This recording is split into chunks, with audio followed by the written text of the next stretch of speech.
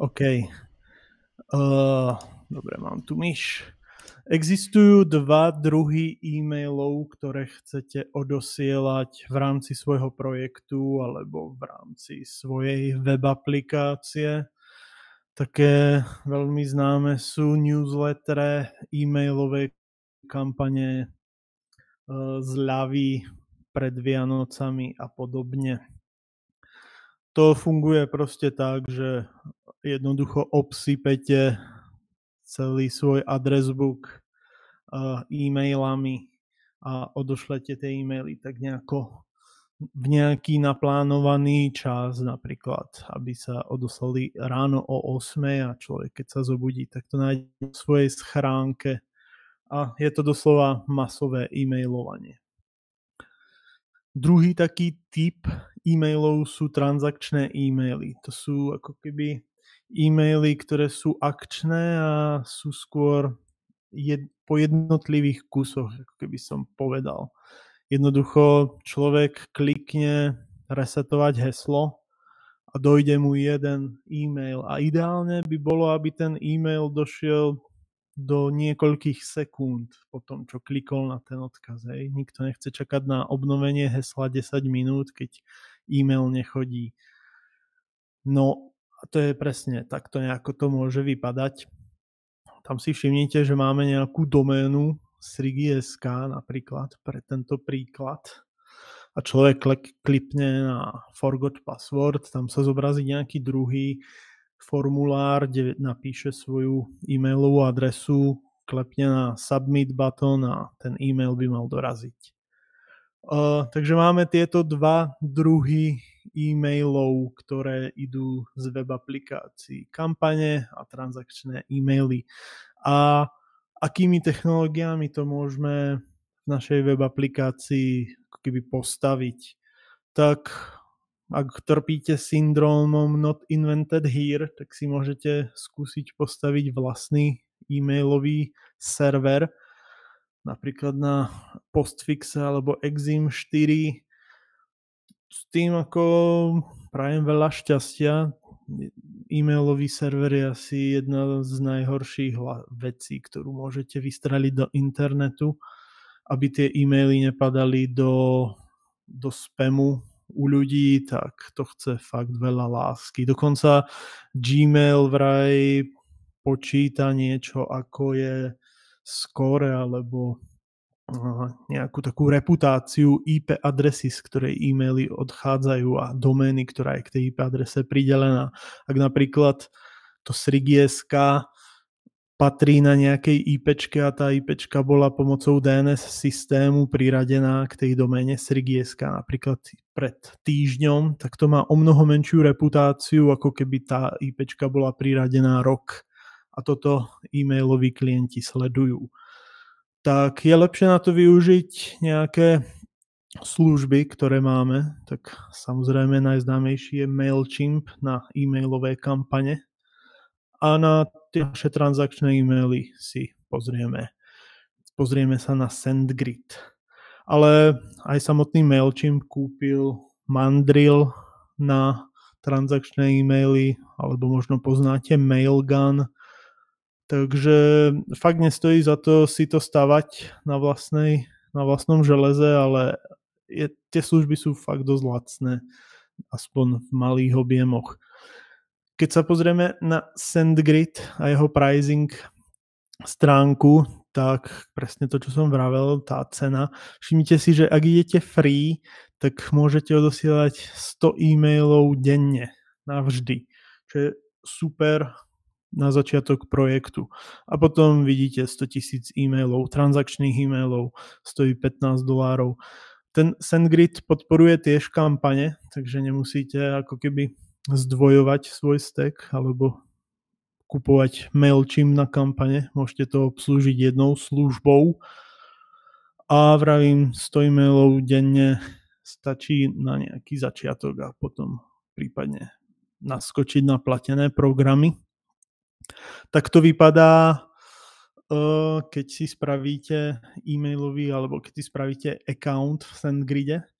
On od vás bude vyžadovať telefónne číslo. Je to kvôli tomu, že sa vrátim späť, že SendGrid bol kúpený Twiliom a Twilio, ak si pamätáte, je služba na odosielanie transakčných SMS-iek a Twilio medzi tým tiež kúpilo službu Auty, čo je One Password, One Time Password Manager na také tie 6 miestne uh, meniace sa kódy na prihlasovanie. Každých 30 sekúnd sa menia.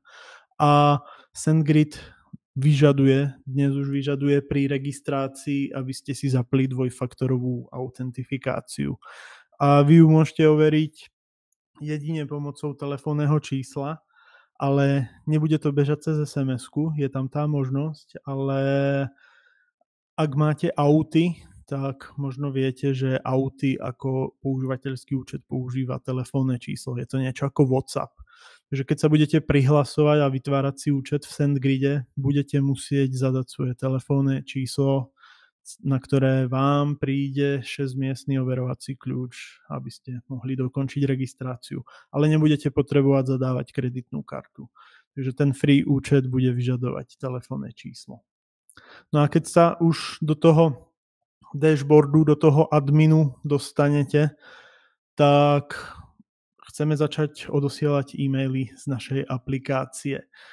Treba ísť, ono, vám to, ono vás to vyzve takým veľkým zeleným bannerom, aby ste išli do Settings a Sender Authentication a tam si overili doménu. Klepnete na toto tlačidlo a napíšete, akú doménu chcete priradiť. A vlastne to bude definovať, z akej domény budú odchádzať tie e-maily, keď človek klepne na tej vašej stránke na to reset password, tak jemu dojde e-mail z Srigi.sk, pretože ste to zadali do tohto formulára. Potom pokračujete na next a ono to vyzýva, aby ste do DNS systému tej svojej domeny, tej Srigi.sk napríklad, pridali tieto cnameové záznamy. Že vy ich tam musíte v, vo vašom DNS systéme nahádzať počkať ideálne aspoň 5 minút a potom dáte, že som, označíte tento checkbox, že som tie záznamy tam pridal do toho DNS systému a kliknete na Verify. A ak to všetko zbehne, ak budete úspešne verifikovaní, tak vidíte, že tá doména je overená. Ale aby ste ako keby zväčšili reputáciu tej domény, tak sa oplatí ešte urobiť toto tlačidlo a toto tlačidlo a tým už prakticky zabránite tomu, že tie e-maily budú padať do spamu. Ale úplné minimum je verifikovanie domény. Určite ale dokončíte aj domain authentication, kde sa pridávajú TXT záznamy pre DKIM alebo SPF a tieto, tieto hovadinky. Uh, ako vravím, mailovanie je ťažká doména. Takže máme overenú doménu, a my si musíme v tomto momente vygenerovať API kľúč. Takže to je opäť v settings, API case. Tá obrazovka potom je takto rozdelená na dva v mojich slajdoch. Vytvorte si restricted API kľúč a stačí mu priradiť jedno jediné permission a to je odosielanie e-mailov. Nič viac ten API kľúč nepotrebuje. Nazvite si ho napríklad web app transactional alebo PHP application alebo nejak podobne. A môžete si tých API kľúčov vyrobiť strašne veľa a dať im veľmi presné definované permissiony. Ten API kľúč sa vám jedenkrát zobrazí na obrazovke a potom ho už nikdy neuvidíte, takže máte jednu šancu ho vidieť, takže si ho copy pásnite a dajte ho do nejakého environment, do nejakej environment premennej a v nete aplikácii tú, nete envir- tú environment premennú natiahnite v Neone napríklad takýmto spôsobom. SendGrid API vytvoríme parameter a ten potom môžete injektovať do služieb spravedlňujem sa. Uh, ďalšiu vec, čo budete musieť vo svojej aplikácie urobiť, nainštalovať knižnicu Composer Rec SendGrid SendGrid. Ups. A vidíte, že to dotiahne ešte nejaké ďalšie dve knižnice PHP, HTTP klient nejaké ECDSA. Uh, vidíte tie verzie, takže SendGrid SDK je už fakt pokročilý a starší projekt, takže ten vývoj tam prebieha, je, to, je na to spoľah. Tak a teraz tá naša aplikácia. Človek kliká na link forgot password toho zoberie na ďalšiu stránku, kde je napríklad takýto formulár. A my chceme na, na ten submit, na tú submit akciu odoslať e-mail. Tak ako ten formulár vlastne vypadá? Tu nebudeme robiť žiadne live demo, ale prejdeme si kúsok kódu. Možno to není dobre vidno na tom streame, ale v princípe, čo sa tu deje, je to faktorka na generovanie toho formulára a keďže je to faktorka, tak ju môžem zaregistrovať ako službu a do konštruktora jej predať ten náš parameter z toho pola parameters. Takže mne tam príde string sendGrid API key a teraz už iba tu mám metódu create a vytváram formulár. A formulár pridám mu políčko na e-mail a submit button. To je celé a potom klasický formulár on success, tam mi príde formulár a tie values a z tých values si vyťahujem tú e-mailovú adresu, ktorú ten človek zadal do toho formulára. No a to budem potrebovať hneď v ďalšom kroku. Vytváram e-mail z, z toho SDKčka, objekt e-mailu, SendGrid mail mail. Nadstavím tam from. Toto je tiež dobré asi nahodiť do nejakej environment premenej, nadstaviť z akej, z akej e-mailovej adresy budú chodiť tie transakčné e-maily. Tuto to mám na tvrdo v kóde, ale vy si to potom nahoďte cez nejaký, nejaký argument, ktorý príde tiež cez konštruktor. Uh, subject, teraz komu sa ten e-mail bude posielať, to je tá hodnota z toho formulára. A teraz vidíte, že tu nadstavujem content ako pre text, tak aj pre text HTML a nadstavíte tam obidve varianty toho tela, toho e-mailu.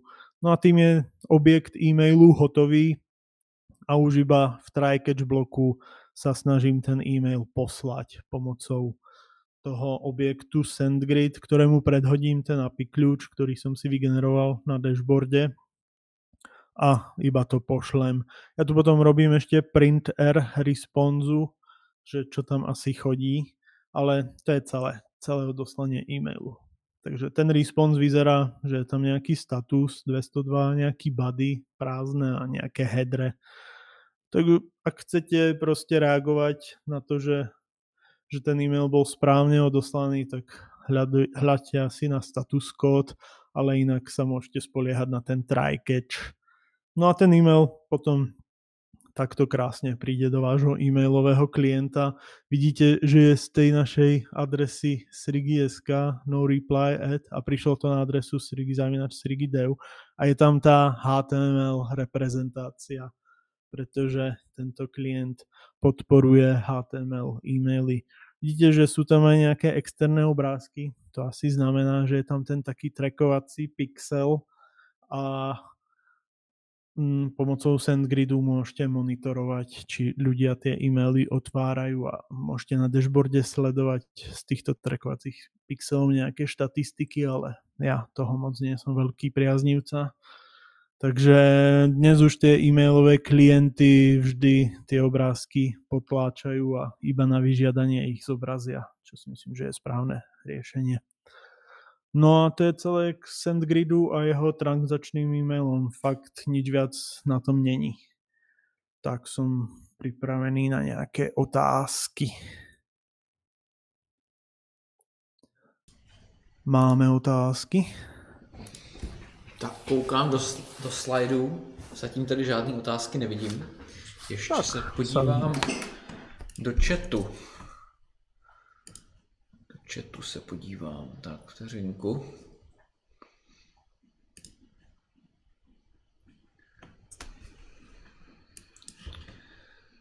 Ještě na Twitter se můžu podívat. Na... Asi to nemusíme hrotit. Hele, na Twitteru, na Twitteru nikdo nic nepíše, takže pište na Twitter, hashtag po sobota, koukám tady na to.